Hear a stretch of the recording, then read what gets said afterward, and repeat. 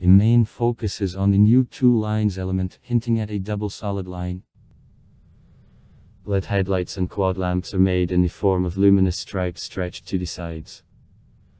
In addition, the two lines that a pair of production models will definitely get can be seen in the digital side mirrors, rear window moldings, diffuser and other components. By the way, the letter X, usually attributed to crossovers, in this case means hidden hero, that is, the upcoming electric car, whose name is classified. The E-Coupe is shown without any specs, with only yellow brake calipers hinting at high performance.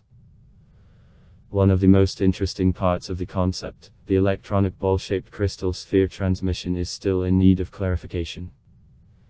The only element of the two lines in the cabin is the ventilation deflectors, which are not visible in the corporate photos, like the main display. Not a word is said about the X's prospects, but, most likely, we have the successor to the Hyundai Genesis Coupe model, which was discontinued in 2016. A fantasy on the same theme was the Hiki-16 Vision G, 2015, concept. The serial two-door G, G or G will appear by 2022.